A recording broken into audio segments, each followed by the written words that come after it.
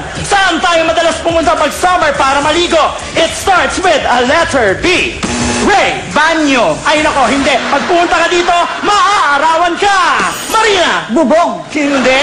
Kapag pumunta ka dito, marami kang makikitang babaeng nakabikini. Ray. Beer house. Sorry, Ray. The correct answer is beach. Ay, beach house. Oo. Beach house pala. Beach. Beach na. Kamay sa atay.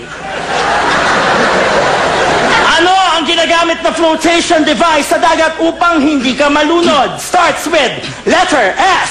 Marina. Sirena. Hindi siya babae. Shokoy. Hindi siya lalaki. Marina. Shoki. Ang tamang sagot ay styrofoam. Hello? Salbabido kaya yun. Alam mo pala, bakit hindi mo sinagot? Eh di sana sinabi mo sa, hindi S. Oo nga.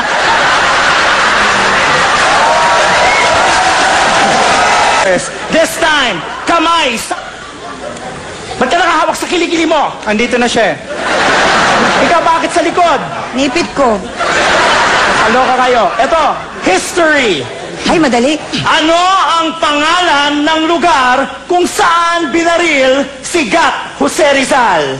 Ang dating pangalan nito ay Bagong Bayan. Ang ah, unang letra ng unang word ay L. Go Ray! Loton! Nako, lumagpas ka! Ay, naku, nakatulog ako. Second word dito, makinig clue. Ang second word ay park. Blank park. Marina! Sandara Park. Hindi siya artista, lugar ito na pinupuntahan na magshota. Ray! Victoria Park! Clue, malapit ito sa Intramuros. Marina! Manila Planetarium. Hindi, mas malapit pa doon. Go! Manila Aquarium! Manila Aquarium! Ano? Manila Aquarium! Lumapit ka pa! Manila Aquarium! Hindi ko sinabing lumapit.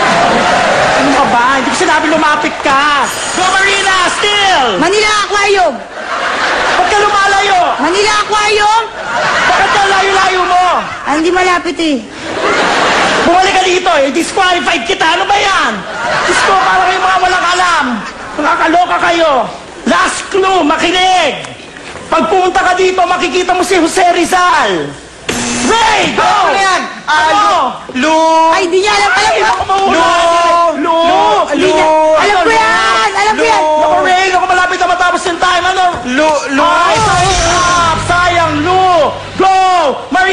The steal! Lu! Nakikita si Jose Rizal, Lu!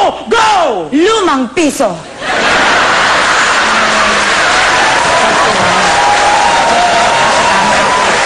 Ano ba yan? Nakakaloka naman. Eh kung ibakat ko kaya sa noo mo yung lumang piso. Para malaman mo hinahanap mo. Okay. Next, kamay sa utak.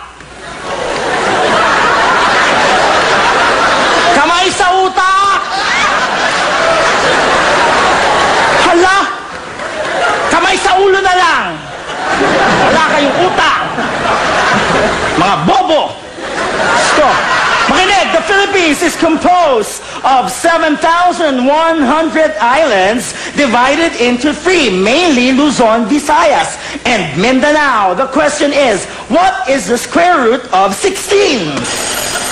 Two! Taasa mo pa! Two! Hindi!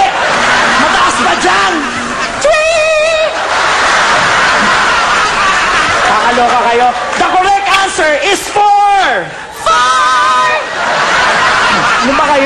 Singing bee. Game show ito.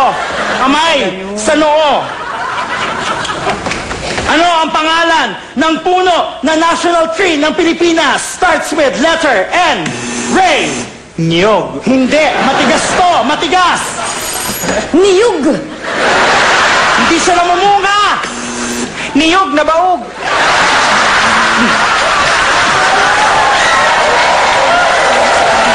Ano ba yan?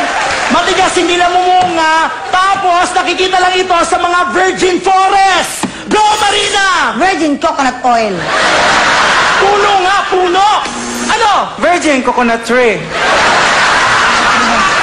Puno to, puno na malaking malaki. Sa sobrang laki nito, kapag pumunta ka sa ilalim, pwede kang magpalamig. Go! Ice buko. The correct answer is Nara. Kamay sa talampakan. Nara flavor. Oo, sarap yun. Kung dito ang kamay namin? Oo nga. Di ihampas niyo yung ulo niyo. Total, wala namang utak yan. Nakakaloka kayo. Ano ito? Hay, makinig! Trivia tayo, kilalang ibon na kapangalan ng isang artistang may apelidong Valdez. Ang ibon na to ay ang national bird din ng Pilipinas. Starts with letter M. Ray. Manok. Hindi. M ang simula, A ang dulo. Ano? Manok ah. Kulay brown ito. Kulay brown. Ano? Litson manoka. Hindi. Ano ka ba? Brown ito na maliit na maliit. Go! Chicken cubes. Maliit na maliit na brown na may pakpak. Chicken cube with wings.